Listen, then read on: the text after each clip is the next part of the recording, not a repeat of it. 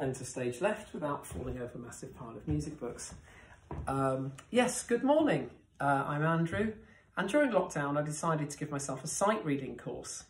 So, going from grade one to grade eight, playing them as though I'm a session musician, uh, which I am, um, uh, so putting music into it.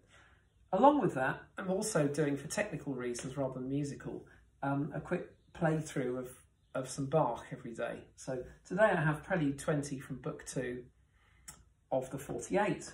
How do I prepare sight reading? Just a couple of things. Time signature, 4-4. Speed, walking pace, nice and slow and ploddy. Okay. Key signature, no sharps or flats, so it's C major or A minor. Which is it? I think A minor because it starts on an A and ends on an A. Next, rhythms. So pretty much the rhythms repeat all the way through. The right hand starts like this. One, two, three, four, one. The left hand starts like this. Boom, boom, boom, boom, boom, in quavers. Together that sounds like this.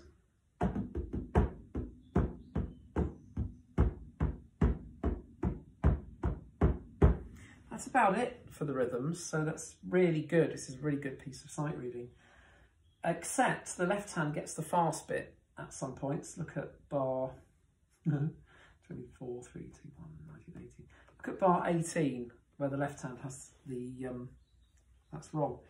21, sorry, where the left hand has the fast bit, and it goes like this.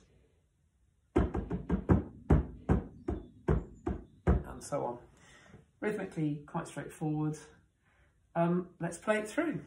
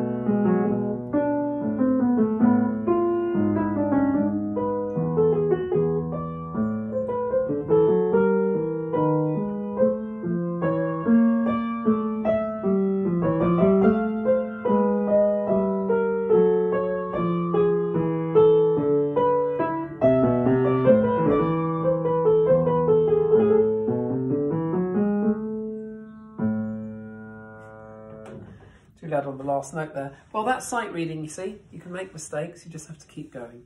And enjoy your piano or whatever instrument it is that you're playing during the lockdown. Bye for now.